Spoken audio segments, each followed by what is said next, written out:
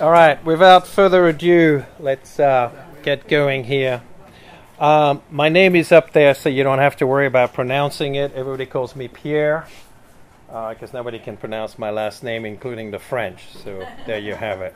So, briefly, tell you where I come from and who I am, and so on and so forth.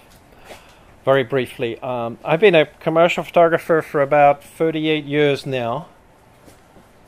Yeah, I hate admitting that, but um, I studied in Paris. I went and had a studio in London for 11 years, and uh, in Tampa for 23 years or 24 years. So um, I've done a lot of uh, high-end advertising, a lot of catalog work, a lot of industrial work currently, which is what we still do uh, quite happily. Very complex um, industrial work that nobody else wants to do. Um, however, nowadays, um, Kathy and I, my wife Kathy, um, specialize and, and have been involved in fine art work as well. So we're one of those people that are kind of transgender, you know. We we both kind of go into the commercial realm as well as the fine art realm. Um, awards, we have a lot of awards. We have a shelf full of awards, which are gathering a lot of dust right now, and we dust once a year, whether it's needed or not. Um, and awards are just that. They're just recognition for, for what we've achieved in the last uh, so many years. but that's that's nothing because an award basically means that's what you've done before, not what you're going to do next. And and that's really what we need to to to talk about as well. Education, I have a master's in physics, which I use very regularly, of course, not so much. Um, I have a master's in French Lit from the Sorbonne, uh, which is a bed of radical thinking, as you know. And I graduated in 1969, just after the riots. So my degree was easy to obtain at that time. And more recently, I have a master's in fine arts. So I'm all good on education. I don't need any more than I have now. Thank you. Uh, professional association, I was the president of the American Society of Media Photographers for the Greater Florida chapter. We managed to change the name from Central Florida to Greater Florida since we cover from the Pen, you know, Pensacola all the way down to Fort Myers. Central Florida was no longer very applicable. Um, I was a founding member of a UK association called AFAP, which represented photographers at that time against the Printers Union, who were hell bent on making us something else. Uh, current businesses is uh, Pierre Dutertre, of course, which is a fine art site.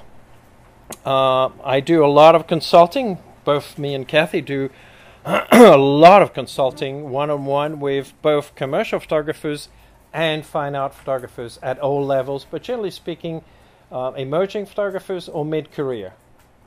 Um, I do a lot of mentoring of students. I'm an educator. I have been an educator for 11 years, on top of everything else, because it's something to do. Uh, and we mentor people at all levels, but particularly at the high level and beginning levels. And Jerry says.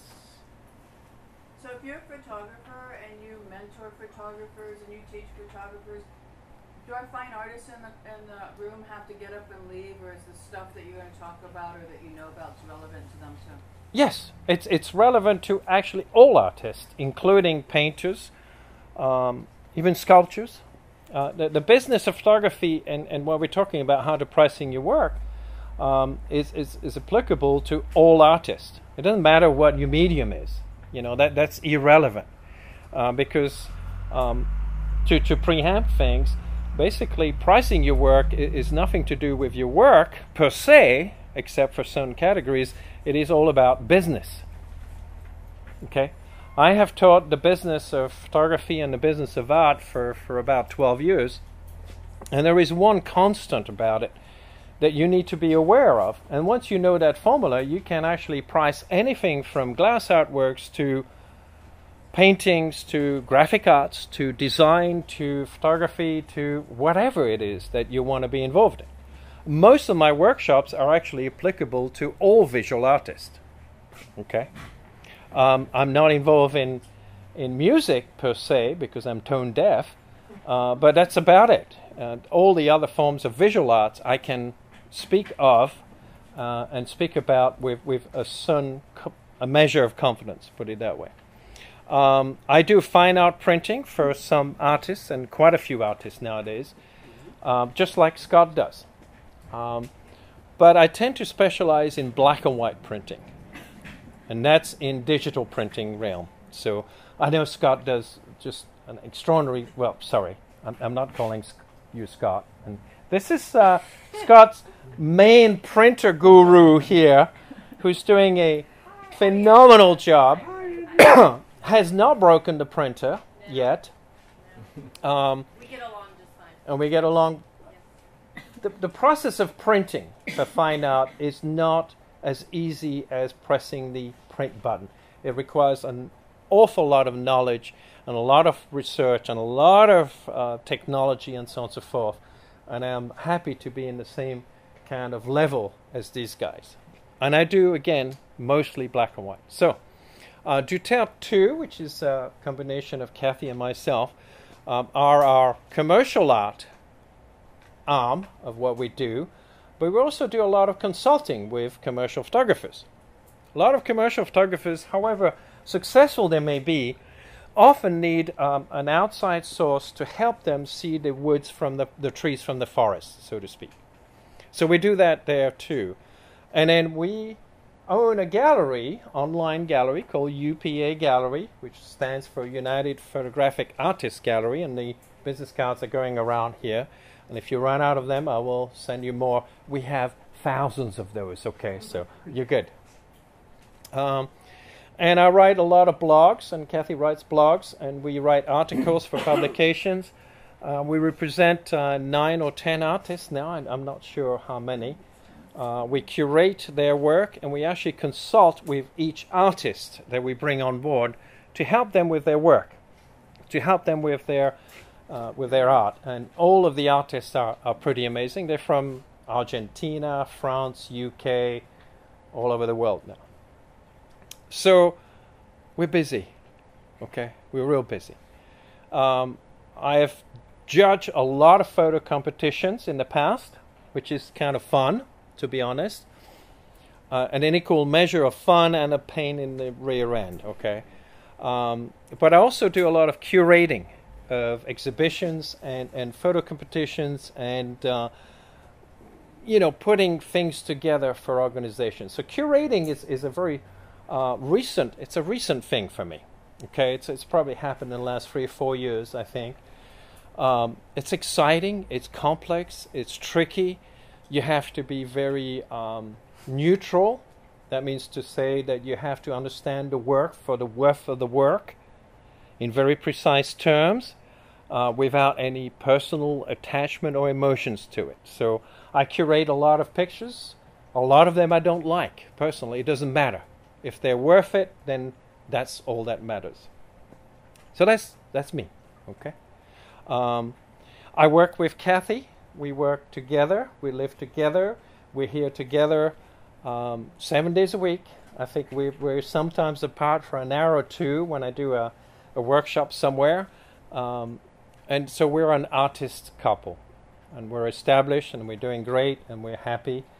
And uh, life is good. All right, so let's, let's dismiss some of the, um, the street myths here. Charge by the inch. Okay, so you do whatever painting or and you measure the uh, 8 by 10 and say, well, th- this is how we're going to charge it. This is, this is not, not something that, that is unknown. This is something I've heard from a lot of people in art clubs and whatever. Is you measure the price of the work, the, the size of the work, and that's the price, right? Have you heard this before? Measure, you know, charge by the inch. Okay, well let's like take a look at it. Okay, this is uh, an Andreas Gursky image, which sold for 4.3 million. It's a C print, which is basically a uh, chemically produced print from a digital file.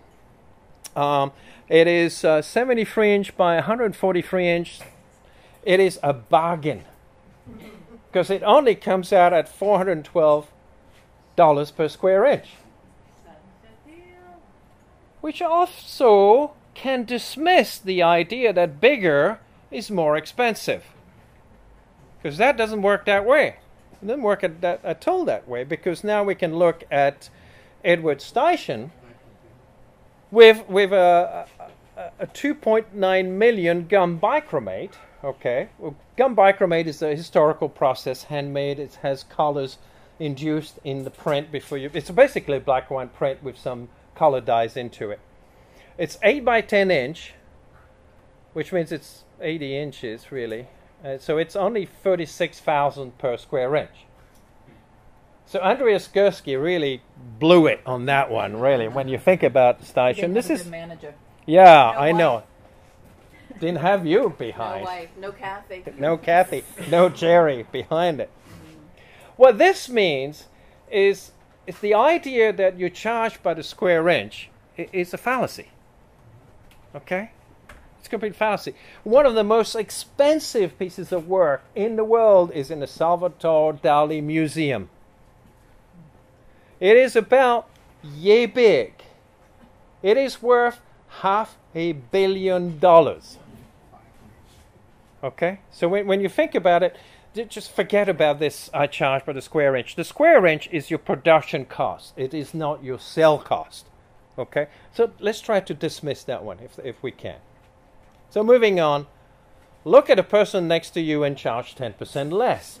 I've heard that one a million times. Okay? Which now leads me to think that you are now working for Walmart. Because Walmart is very successful at doing this because they do large volume and the lowest production overheads distribution cost. It works for Walmart because they buy millions of units and they beat the vendor down to a pulp. Okay? I went to that place that Walmart is, and I've forgotten the name. I've, I've tried to block it out of my mind. It- It's somewhere in the middle of nowhere, okay? It's a huge building, okay? And they, they basically try to beat you down on anything, okay? I mean, they probably try to beat down the local Starbucks on the price of their coffee. I mean, that's what their mentality is. So when you think about look at the person next to you and charge 10% less, the other problem here is if the person next to you doesn't know what they're doing, then you really don't know what you're doing, okay?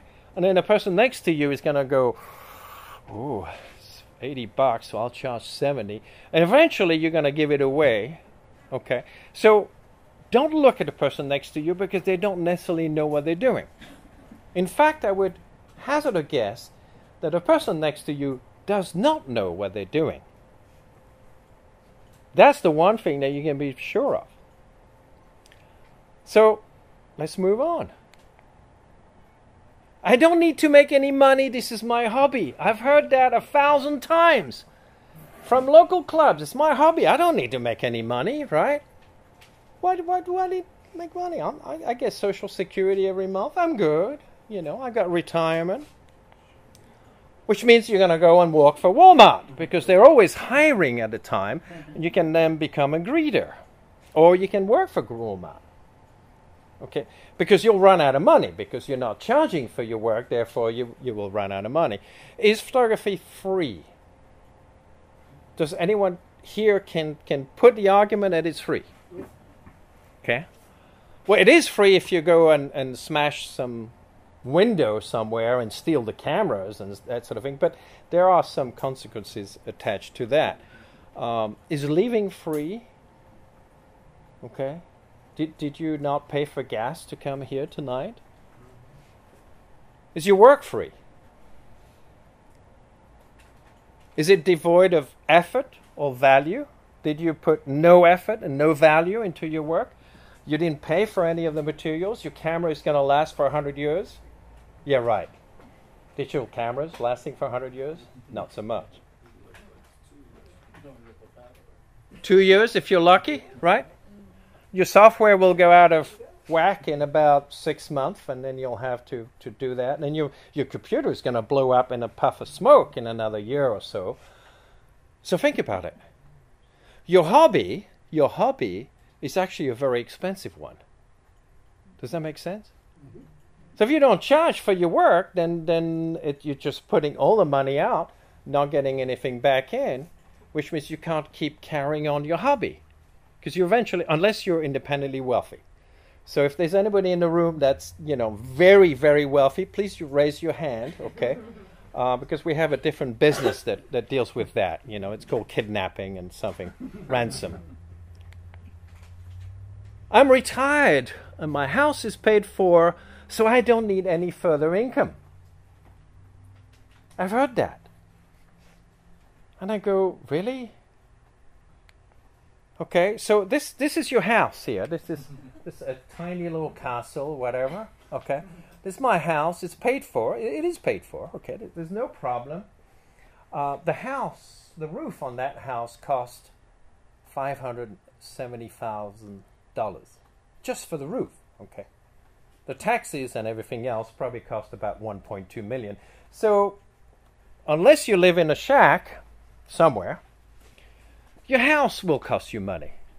Life costs money. Does that make sense? I, am trying to be not uh, overly assertive here, but I'm trying to say something that we're in business for the art. Okay, we, we're not giving art away. We, we have to make it pay for itself. Otherwise, you can't carry on making art. Most artists stop making art not because they don't like art or because they run out of ideas or because they, they don't know what to do. They, they stop making it because they run out of money.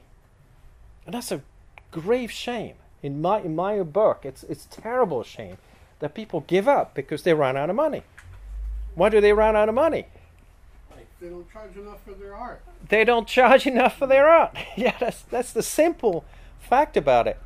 I'm afraid to ask for money. I've heard that one quite a few times too, right? Oh, I, I can't ask people for money. It's scary. It's scary. Right? Do you think these people have problems asking you for money? Yeah. Verizon Wireless, you don't pay them, they cut you off, okay? TECO is even quicker about that. They take the meter out of your house and go, no money, no power. What about the government? Ooh, do they have a problem asking you for money? No, they don't. And if you don't pay them, they put you in jail. Which is an irony because then they have to pay for you to be in jail. But that, that's a different thinking. You know, welcome to America, cash or credit. Okay. So don't be afraid to ask for money. Everybody else doesn't have a problem to ask for money. Okay? It's, it's simple. It's a simple proposition. When you go to the gas station and you pump gas, right? Do you go inside and go, you know, I like to pay 50 cents a gallon? See what happens. Just just try it, please. Just try it when you go home tonight. Because what will happen, you have a, a car with flashing blue lights, they're going to come behind you, and they're going to haul you to jail. And then the government pays for the rest of it. So what else do we have here? Oh, I go by my production and framing costs and just add 100%. Jerry will be laughing about that for a while. Okay. So 100% sounds good. Are you good with that? 100% good. How much does Epson charge for their ink? How much? What is the markup on ink on average from Epson? On the big cartridges, it's about 800%. On the big, the big ones. And what do they do? They don't create art. They put ink in your machine. Now, if you have a small printer, you know, with those itsy bitsy little cartridges, what do you think the markup is on it? It's almost 5,000% markup on a small cartridge. 5,000. And I know that from Epson because I asked them. And they, they're quite happy to tell you what their markup is. I say, yeah, we, we sell the machines for nothing, but the ink, we make lots of money. Thank you very much. So let's see at, you know, the markup thing. Let, let's dismiss that in people's minds. This is, a, this is a website that tells you the markups for various things, you know. Interior painting, 6,000 something, right? Does that work for you? Cutting the lawn. Okay. Valet airport parking. That's the markup. House cleaning. That's why we don't do ours because we can't afford that markup. Education. Oh, that's that's a bad topic here, isn't it? Oh yeah. Yeah, look look at these markups. We're looking at America here. We're looking at the standard corporate America markups here. Home and family, okay. Purebred versus rescue pup. Oh, interesting. Furniture, 400%. Make your own. I know Scott does. It doesn't matter. Huh? If you need the casket, it doesn't matter. Right. I mean, it's good. It's good. Food and drink. I bet you didn't know that most coffee shops have a 3000% markup, do you? So when you get your cup of coffee from uh, Starbucks that costs you five bucks, just work out backwards how it cost. Really. Healthcare. Oh, that that's pretty. That, everybody understand healthcare markups, right? These are current figures. These are figures that are three months old. Prozac. Wow. Pro- Happy pills are, are almost five thousand percent markups. It costs a lot of money to be happy, right? That's why it's great to be an Epson client. Exactly. Electronics. Look at this one here. HDMI cable. This cable that goes to the projector, it's a very long cable. It costs $250. It costs actually $1.85 to make in China. So, what do you think about your 100% market profit here? Does that work for you? No, no, no, because everybody else is doing a lot better. Okay. I follow what my local art club leader says. Okay? I'm going to be generous here and say, well, if that person knows about pricing work, good. If that person cannot demonstrate that they have the background to know how to price your artwork, then it's more kind of um, what's the word? Personal opinion. I was going to use the word gas, but that's okay. So there you go. so how now that we've dismissed all this, how what are the factors that are going to affect the pricing of your work? There's there's several factors here. The main one is down here, cost of doing business. But we, let's look at all the variables here. Can we? You ready for it? Mm-hmm. Okay. Subject matter, i.e., what you're taking pictures of, if we want to talk about photography. Is it cliche? Is it conceptual? Or is it unique? That's going to make a big difference in, into what your photography is worth, right? Sunset. Cliche. a typical sunset. It is good. it's a beautiful memory picture. It has its own value. I will not denigrate ever cliche pictures or personal pictures. They all have their place. However, now we're talking about pricing art. Do, do you understand the difference here? There's a big difference. So this is a cliche. I don't know who did that. I, I just got it out of Google because you can get everything out of Google nowadays, right? Google knows where you are. Or we can have a sunset by Clyde Butcher. That's one of his most successful prints. We've been lucky to interact with Clyde Butcher for a number of years, um, whether we wanted to or not, actually. But um, Clyde and I just argue. Okay, that's all we do. We visit and we argue. It, it's really fun. And then Kathy talks to Nikki Butcher, and they leave us alone, which is really a good thing. Do you see the difference? Right? It's one of his most highly successful pictures. Oh, we have flowers, okay? Well, this is your pretty stereotypical flower. I have seen about 10,000 of those. That was last year alone. right? or you have flowers by a gentleman called Ron van Dongen, which is a weird ass name. I, I, I understand that. He's foreigner, so, but he is recognized to be the master of taking flower pictures. Why is he master? Because of his lighting. He does everything in the studio and he creates backgrounds that are unique to every single image that he will do of flowers. He's world renowned. Okay? He has beautiful flowers, stunning flowers, all about form and color and shapes.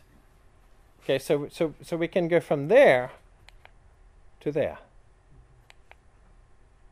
You, you see how we separate from the cliche to the beautiful. Conceptual. This is a, a, an amazing artist, women artist called Cig Harvey. And she has stunning quality work, and it's all self portraiture and it's based upon an intellectual approach of her interaction with life and the environment. Okay, this is not cliche, right? Not cliche. Conceptual, Sandy Skoglund. Do you know anybody? Anybody know Sandy Skoglund? Quite an amazing artist. Thank you. Amazing artist. She builds these enormous sets. Some of them take six months to do for a single picture. Okay, this is really fine art work at its best. Conceptual. David Maisel. What, what do you think this is? Abstract? Peeling paint?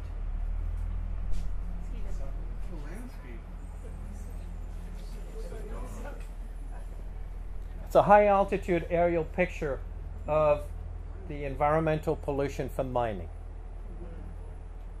So it has multiple applications which are really interesting in the sense that it is not just a beautiful picture that looks like an abstract, but it's actually very much involved in the world of pollution and the world of environment.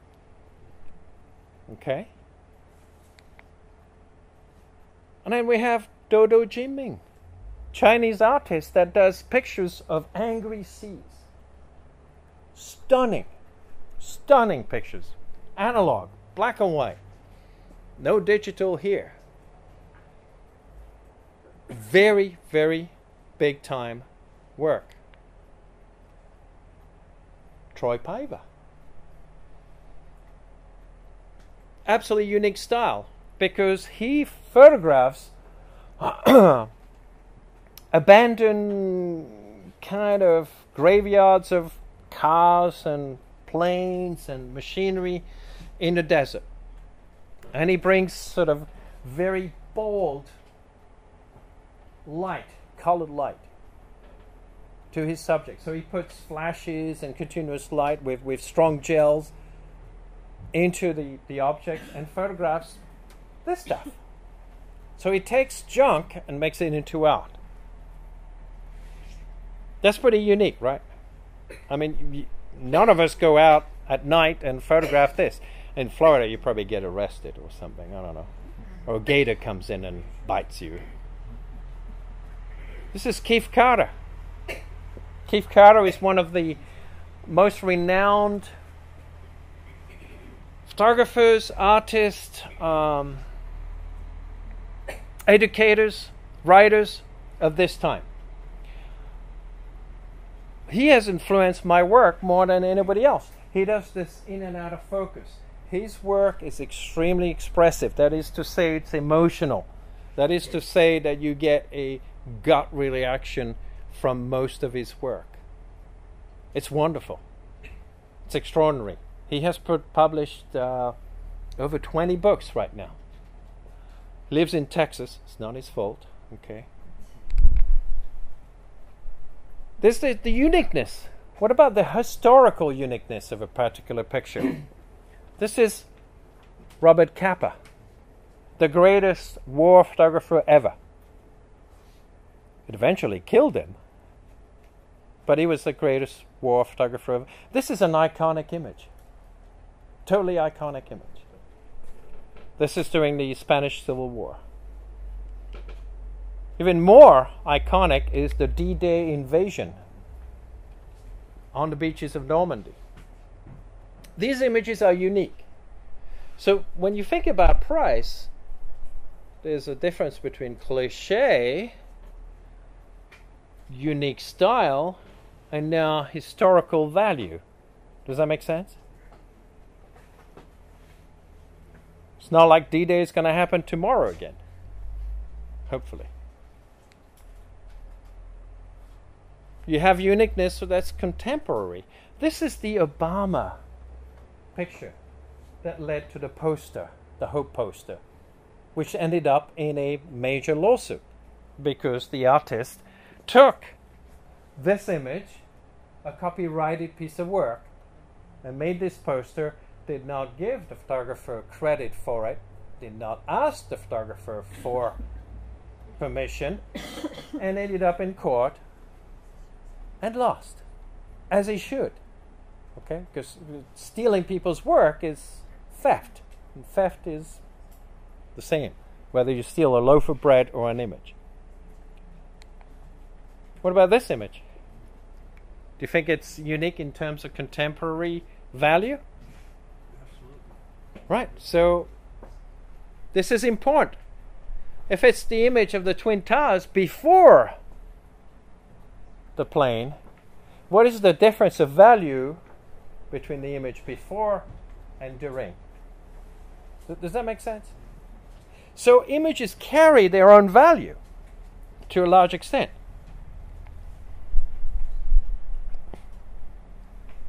Something that people don't want to talk about the longevity of your image.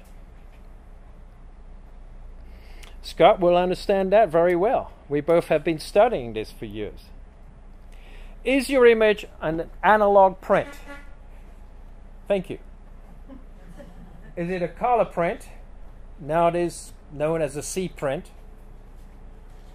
Or is it another color process, a previous color process? That is an important thing. In other words, is it a chemical process or something else? If your image is a black and white silver print, analog print, particularly a fiber based print, what's the longevity of it? Well, that, that's a factor in, in the cell of your print. You've got to think about it.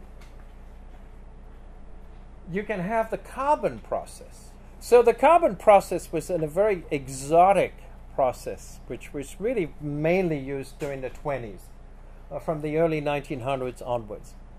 Uh, it has an extreme longevity. In fact, the carbon process is, is supposed to be the longest lasting process out there in terms of archival quality.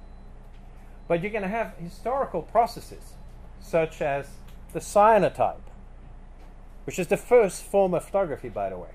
Okay? It was invented by Sir William Herschel, who was helping the British gentleman called Monsieur Talbot, and the cyanotype is called a blueprint. It was called a blueprint for many years, and, and it's basically, be, you know, it's blue because the iron iron sulfide used. Van Dyke browns, gum bichromates, platinum printing, which I've done a lot of. Okay, it's made with platinum, so you can charge a lot more for it. I'll show you some examples. Wet collodion, often nowadays used by Sally Mann and, and other great artists. Wet collodion is a highly toxic system, even nowadays. Uh, it will kill you. Amber Ambrotypes, tintypes, daguerreotypes. The, the new daguerreotype system is actually safe. The old one killed most of the operators. You realize the daguerreotype was made with mercury vapor. So you put mercury and you put a lamp underneath, and the operator stood on top of it, coating the plate. Mercury So vapor. more expensive. Hmm? More expensive. They are very expensive because they're also unique. That's why daguerreotypes have kept their value. Because they're one unique and two, everybody who did daguerreotypes died very quickly. Photogravure. Photogravure. Right now, uh, Florida Museum of Photographic Art has an artist there who has done giant photogravure. Photogravure is basically when you transfer a photographic image through a plate using um, sulfuric acid to, to, to etch the plate and then you can print it. It's basically a form between photography and, and, and you know, um, printing, put it that way.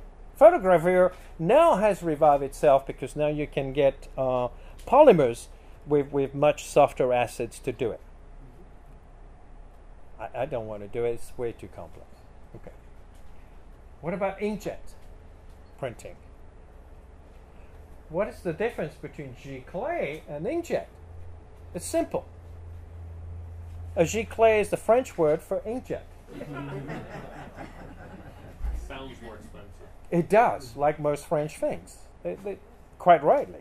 So, however, giclée really would refer to a type of ink that is much more archival, which is heavier based and, and with less of a color range.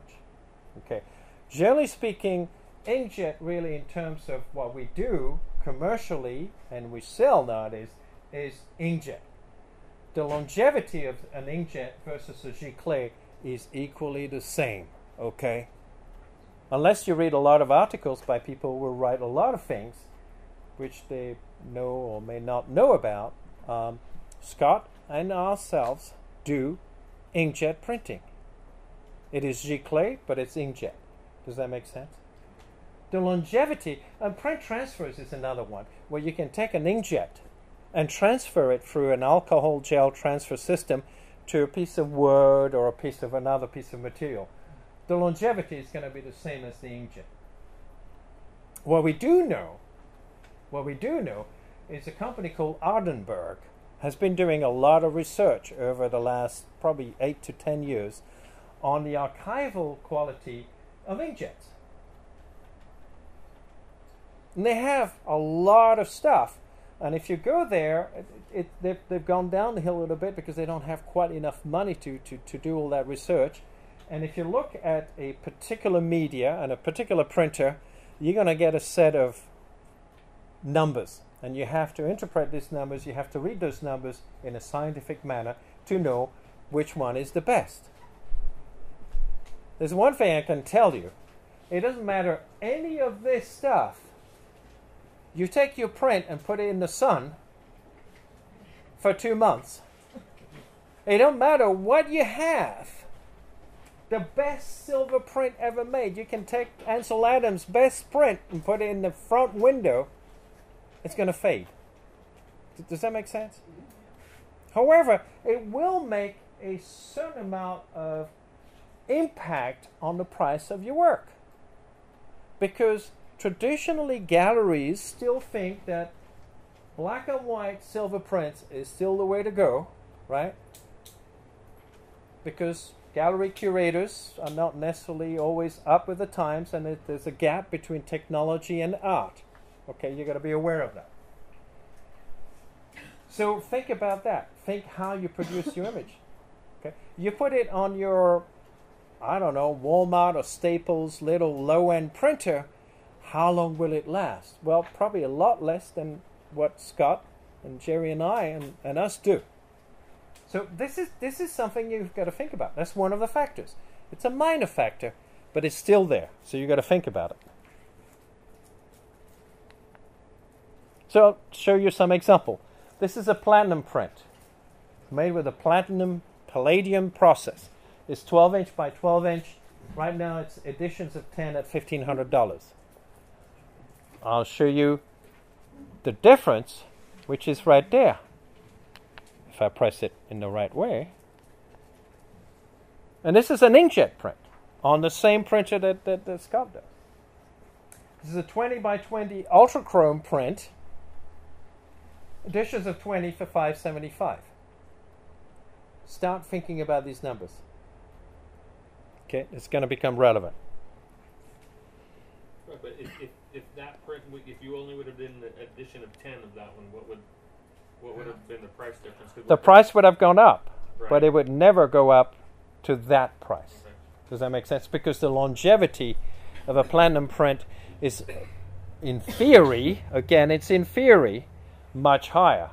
If I take this print and put it in the sun for two weeks, it's going to be gone. If I take this print here, put in the sun for two weeks, it's equally going to be gone anyway. Okay. the process have something to do with that as well? The process has something to do with it because this is a handmade Handmade, and you're doing. handmade and, I'll lose about half of those because you know you have to do this kind of in the dark mm-hmm. like many other things but you have to do it with brush you don't exactly know where the edges are and it's much more complex to do the temperatures the chemicals all have to do with it so but there's a perception it's a perception only that's what i want to say and, and the point I'm making here is the perception is that this is going to last longer than one of these. And that's wrong. They're going to last exactly the same amount of time depending on how you display and how you keep it. Does that make sense? It's the same with silver print. However, you will be told by galleries, you'll be told by collectors certain things. Fiber based silver print is way better than anything else, right? I mean, educators will tell you that the only thing worth in, in, in life is, is fiber based silver prints. Clyde Butcher will tell you that the only thing worth in life is fiber based silver prints. And McDonald's. What? Is it RC prints or what? RC prints are, oh, they poo pooed by, by most collectors. Yeah, totally poo pooed. It's plastic. Ooh, nasty. So let's take a look at uh, different processes and, and, and how it affects the price. This is a one off cyanotype, it's 8 inch by 10 inch. It's actually a mistake, but that's okay. Mistakes are good. You can make more money. That's $1,800. It's one. Why? Because the brush strokes and the stuff, and, and you do it in complete darkness. And I think we had a couple of glasses of wine stuff. So, so I want to just move on and, and try to explain the different factors.